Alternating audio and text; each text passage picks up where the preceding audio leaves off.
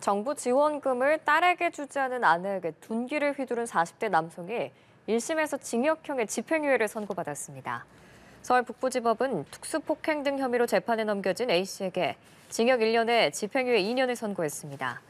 A씨는 지난해 8월 서울 노원구 자택에서 160만 원 상당의 자녀 장려금을 자신이 아닌 딸에게 주려 한다는 이유로 아내 B씨를 목검으로 때린 혐의로 재판에 넘겨졌습니다.